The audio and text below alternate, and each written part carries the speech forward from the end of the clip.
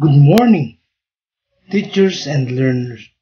Welcome to English lessons for grade 8.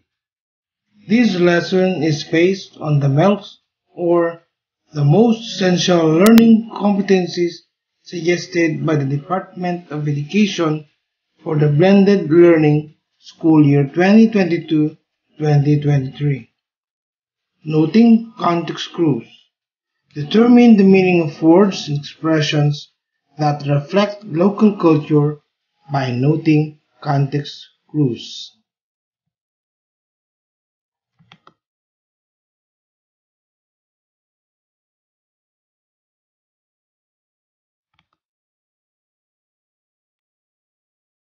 Context clues are hints found within a sentence, paragraph, or passage that a reader can use to understand the meaning of new or unfamiliar word. Context clues are important because comprehension and usage of vocabulary leads for academic success. Context clues can increase learners' vocabulary, reading comprehension, and make them better reader.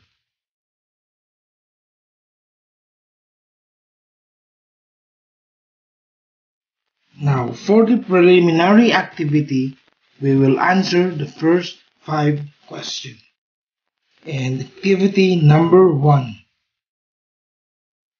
Read the sentence or passage carefully and select the correct answer. Number one. No matter where you go, the internet is following you. Almost every portable device is being made with an internet connection. Most new televisions and many other appliances come with internet connections as well. The internet is truly ubiquitous. If something is ubiquitous, it means A. It is fuzzy and will bite you. B. It is everywhere. C. It costs too much money. And D. It causes rashes.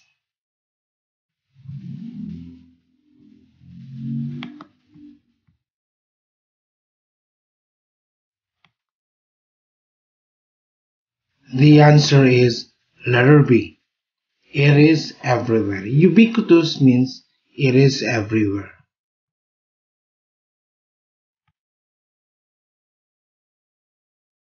Number 2. Speaking rudely to the president was a harsh behavior. You really hurt not only the president but also the citizen of the country. In above context, what does harsh mean? Letter A. Excessively critical or negative. Letter B. Funny. Letter C. Trying to hide or disguise a piece of cheese. And letter D. With little thought or consideration.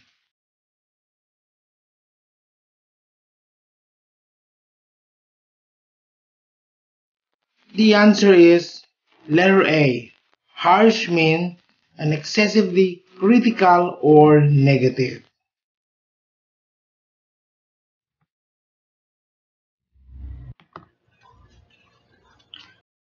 Four.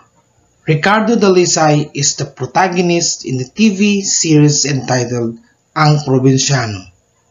He is a police officer who protects his country and his loved ones from the evil forces in the society. In the above context, what does protagonist mean? Letter A. The main character of a story. Letter B. An animal that lives underground. Letter C. Someone whose first and last name start with the same letter. And letter D. Someone with bad body odor.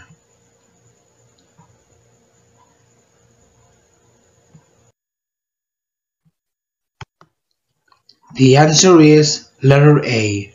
Protagonist mean the main character of a story.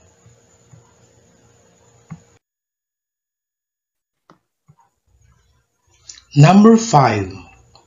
She was convinced that it would be a lucrative business to sell beauty products. It turned out she was not ready to make business and she lost a lot of money. In the above context, what does lucrative mean? Letter A. Tasting great vanilla ice cream. Letter B. Helping young feet to grow correctly. Letter C. Showing no careful thought. And letter D.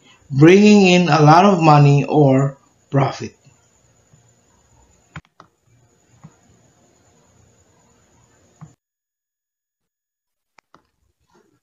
The answer is letter D. Lucrative means bringing in a lot of money or profit.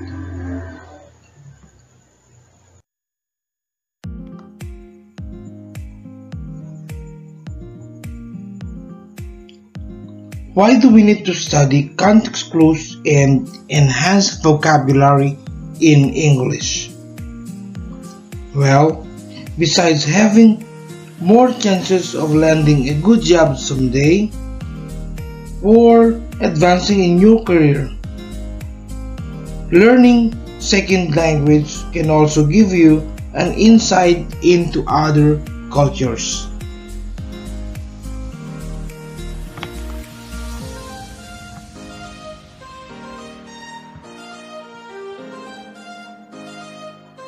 Now we have here simple teaching strategies that may work and that is how to find and use context clues. How to find and use context clues. Number 1. Look at the unfamiliar word then read the sentence before and after the word. Number 2. Connect what you know with the text. Number 3. Predict a meaning. Number 4. Confirm or revise your prediction. In other words, we can unlock the meaning of unfamiliar words by the ideas I, D, E, A, S, acronyms for letter I, inference. On Inference it is a conclusion reached on the basis of evidence and reasoning to form an idea. It is by using your prior knowledge or schema or in other words a guess based on what you previously know. Letter D. Definition or explanation clues. Sometimes a word or phrase meaning is explained immediately after its usage. Letter E. By example, clues is a word or phrases that provides an example to illustrate the unfamiliar word. Letter A for antonym. Sometimes a word or phrase is clarified by the presentation of its opposite meaning or its contrast. And letter S, its synonym or restatement. Sometimes a word or phrase is aiding in its simplest way, just like a definition or explanation or simply called restatement.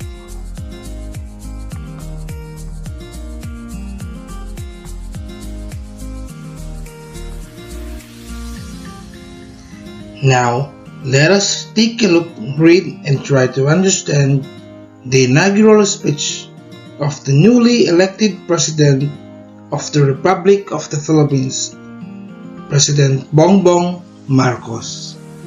And I quote,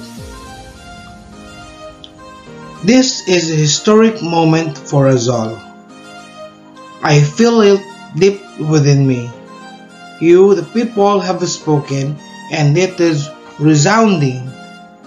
My call for unity started to resonate with you. It did so because it echoed your yearning, mirrored your sentiments, and expressed your hope for family, for country, and for a better future. That is why it reverberated and amplified as it did to deliver the biggest electorate mandate in the history of Philippine democracy.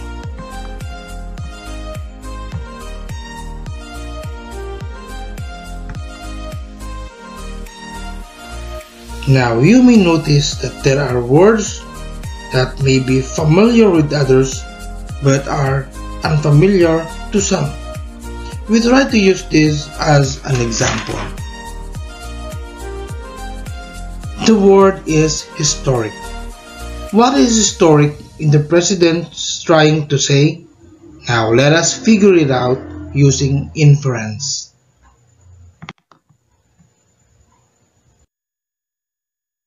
Although there are other words that could explain the phrase or the word historic, the biggest words or phrase that could explain it better is the phrase the biggest electoral mandate in EDSA in the history of Philippine democracy. And what is that? We can then infer that the biggest electoral mandate is the recently conducted national elections where the president won.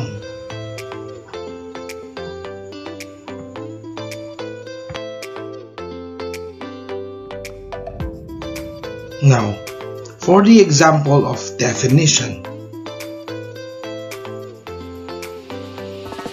The word is resounding, which if you can see in this context, it is very near to its dictionary meaning or definition which is to resonate.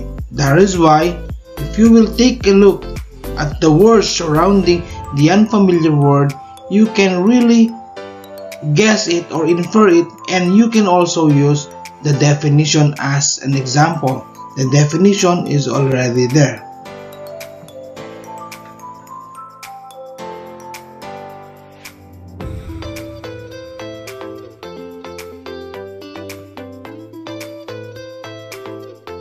Not only that, we also have the word echoed, a synonym or better to say as an example.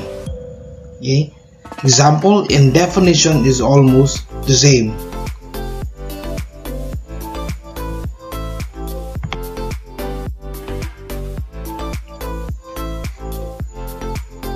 Now, let's take a look at the next passage of the speech.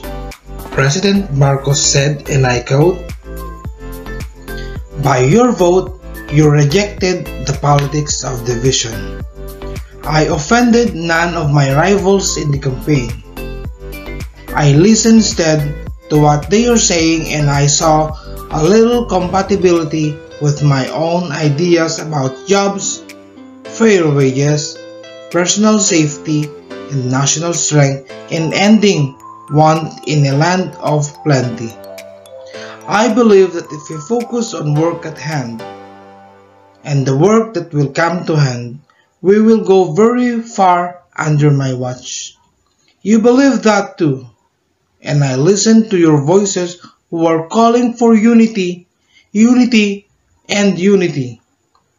We will go further together against each other, pushing forward, not pulling each other back out of fear, out of misplaced sense of weakness.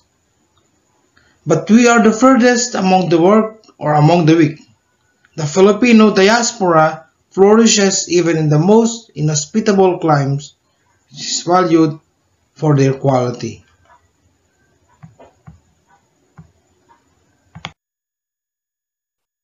As an example for antonym, we see here the phrase politics of division, which is the opposite of unity. The president emphasized unity not only twice but thrice when he said unity, unity, unity, and that is also an example of repetition.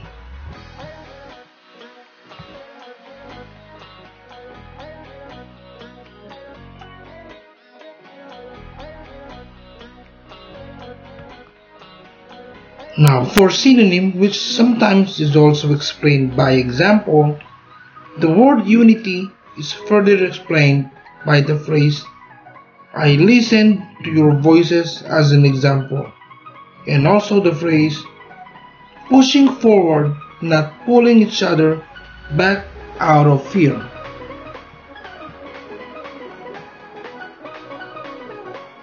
There's more. The phrase says, I offended none of my rivals in this campaign, and the phrase, I saw a little compatibility or incompatibility with my own ideas. These phrases are actually an example of antonym or contrast.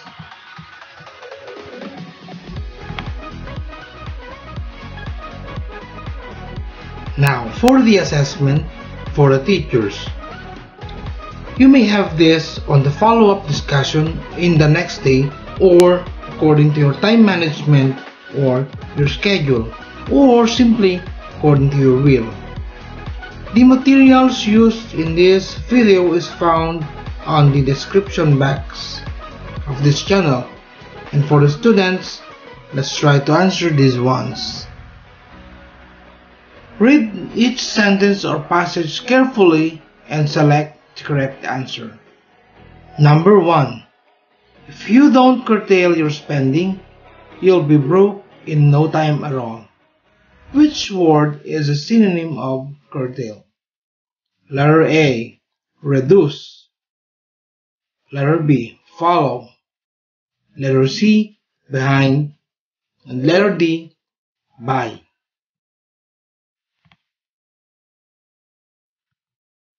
Number 2.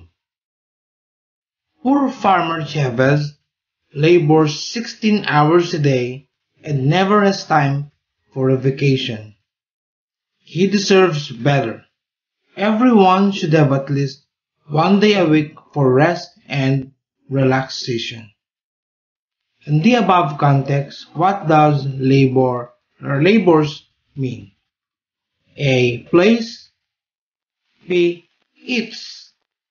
Letter C works. And letter D unions.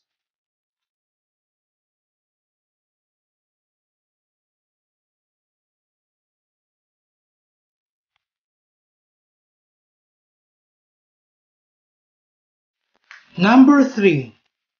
A wonderful 98 years old woman is working day and night to knit scarves to send as gifts for the troops. What a selfless person she is. Selfless woman means letter A is selfish, letter B has no name, letter C likes to wear scarves, and letter D cares more about others than selves.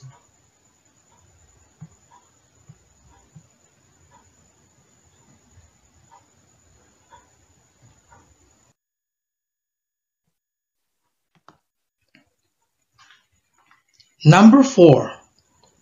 IQ tests and MRI brain scans Researchers have found that the measurable intelligence of teenagers can rise and fall over time.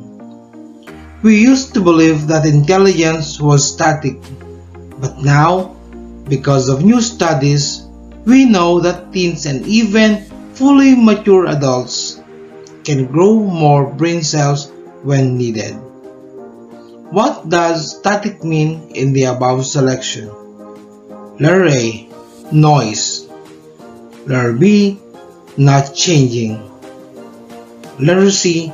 Moldy and letter D. Unreal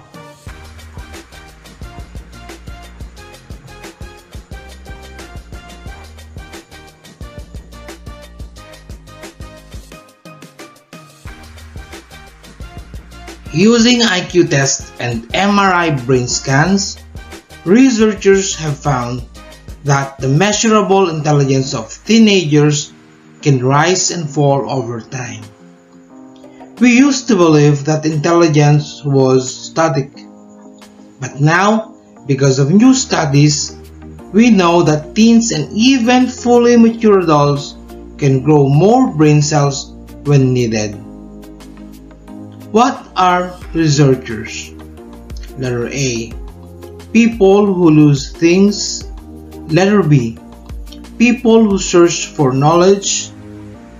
Letter C. Creatures from Mars. And letter D. Students who don't stud.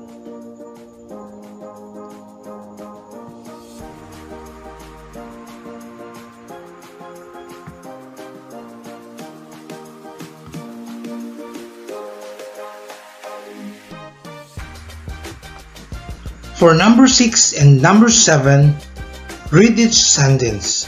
Underline the clause that define or restate the italicized word. Number 6 is done for you. Loose knee-length trousers called galligaskins were the 18th century equivalent of short pants. Loose knee-length trousers called galligaskins. So galligaskins here is the italicized word and its equivalent or its meaning is loose knee-length trousers. Number 7. Ideal for polishing or grinding, carborundum is a very hard stone.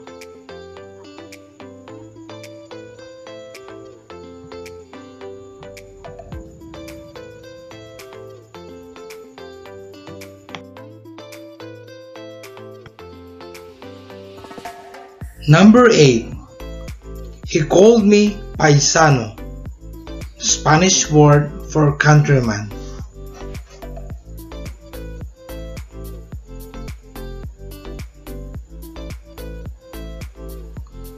Number 9. Flanders, an area of Western Europe, now part of France and Belgium, was the site of World War I cemetery.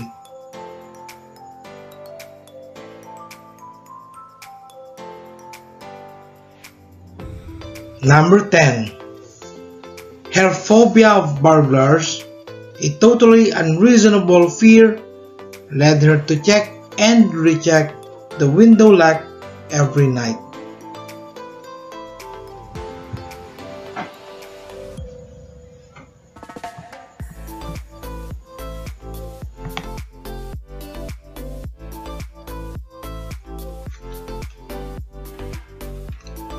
Thank you for watching our video. I hope you learned. Please like, subscribe, and share the video. Thank you so much. Until next time.